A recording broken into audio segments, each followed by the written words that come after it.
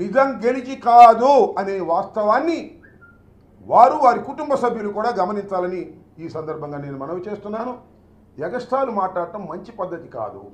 రెచ్చగొట్టే మాటలు మాట్లాడటం మంచి పద్ధతి కాదని కూడా ఈ సందర్భంగా నేను మనవి చేస్తున్నా. జగన్మోహన్ రెడ్డి గారిని రెచ్చగొట్టే విధంగాను ఎవరో మాట్లాడుతున్నారు ఇందాక టీవీలో చూశా. వాళ్ళ పేర్లు తర్వాత చెప్తా. అలాగే అచ్చెన్నాయుడు గారు ఏదో మాట్లాడుతున్నాడు న్యాయం గెలిచింది ధర్మం గెలిచింది బయటకు వచ్చేసాడు ఇంకా బయటికి ఏం రాలా?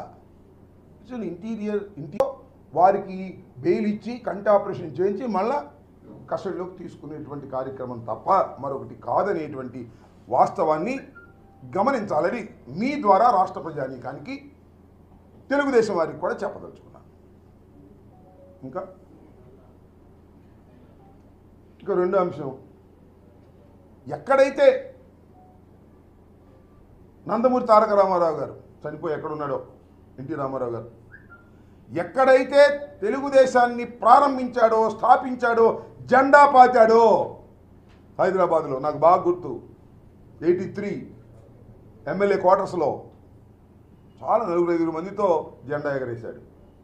అప్పుడు మన బాబు గారు కాంగ్రెస్లో ఉన్నాడనుకోండి ఎక్కడైతే హైదరాబాదు నడిబొడ్డులో జెండా ఎగరేశాడో తెలుగుదేశ స్థాపన కోసం అక్కడే నిన్న జెండా పీకేశారు.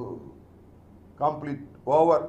తెలంగాణలో తెలుగుదేశం పోటీ చేసే పని లేదు. జ్ఞానేశ్వర అనే ఆయనకి జ్ఞానోదయం అయిపోయింది. ఇన్నాళ్ళు నన్ను మోసం చేశారు. బీసీలకు పట్టం కడతామని చెప్పేసి బ్రహ్మాండంగా ఉపన్యాసాలు చెప్పారు. పాపం జ్ఞానేశ్వరం రెండు మూడు సార్లు పిలిచారు. పోటీ చేయడానికి లిస్ట్ తయారు చేయమన్నారు. చోరు పోటీ చేయ కూడా పారిపోయారు. అంటే వాట్ ఈస్ దిస్ జెండా పీకేశారు.